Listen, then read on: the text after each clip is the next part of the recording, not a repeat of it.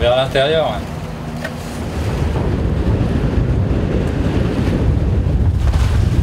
Je pense que ce qui est vraiment euh, bien, c'est que Seb soit là, qui vous raconte vraiment euh, comment ça s'est passé.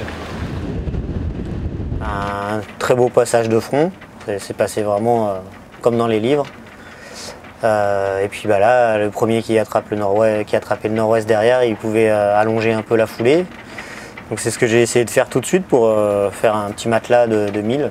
L'idée c'était de se caler sur la vitesse de massif, sachant que le bateau a une telle capacité à accélérer que ça ne servait à rien d'accélérer tout le temps. J'étais en super forme, de la pointe Bretagne au passage du front, bah, j'ai vraiment pris le temps de, faire plusieurs sièges, j'ai dû dormir au moins deux heures, deux, heures, deux heures et demie, j'ai pu euh, faire un plat chaud, euh, voilà, m'hydrater, parce que je, savais que la course elle démarrait justement après, il fallait avoir du rythme voilà, pour être concentré, pouvoir attaquer un petit peu au cas où. Et, et la course commençait bien, j'étais bien, franchement, c'était facile et, maîtrisé.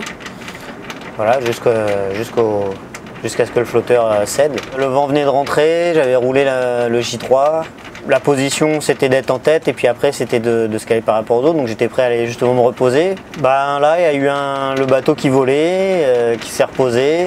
Quand il s'est reposé euh, j'étais projeté sur la cloison, donc une, grosse décélération. Donc là j'ai assez vite compris qu'il y avait un bout du bateau qui était parti parce que c'est ce genre de bateau quand ça atterrit ça redémarre tout de suite. C'est relativement smooth, c'est en glisse. Et là d'un coup c'était euh, voilà, c'était le bateau euh, avec un comportement pas, pas sain. Euh, je suis allé vérifier, j'ai vu qu'il n'y avait plus de flotteurs. Je suis retourné affaler la grand voile pour essayer de donner de la stabilité au bateau. Je suis retourné voir le flotteur savoir s'il n'y avait pas de bruit de carbone euh, autre dans les alentours, dans les environs.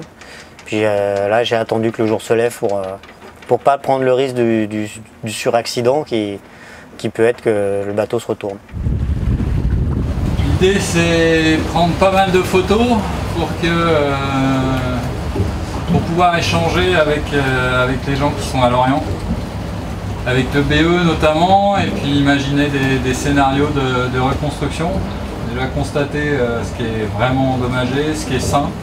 Donc ça, ça a pas mal travaillé, la structure a l'air saine. Et bon, il y, a des, y, a des solutions, en regardant comme ça, il y a des solutions qui se, qui se profilent.